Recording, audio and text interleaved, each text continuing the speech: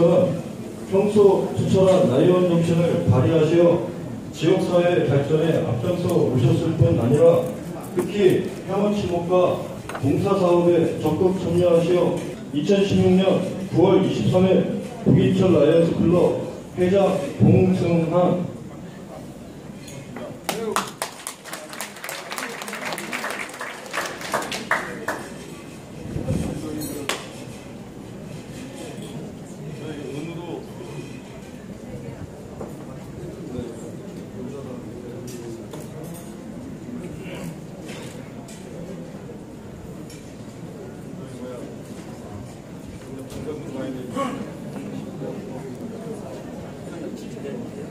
공로상 한리즈 라이언 무단 내용은 전과 같습니다.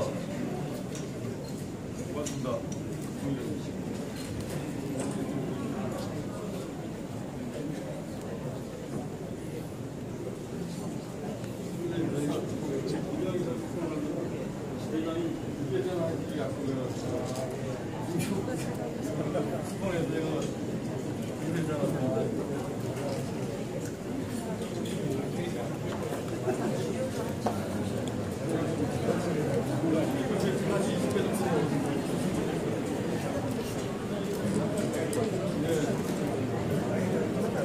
공로상 신재영 라이언 내용은 전과 같습니다.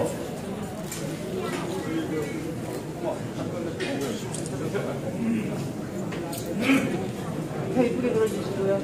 네. 촬영하겠습니다. 여기 봐주시고요. 하나, 둘.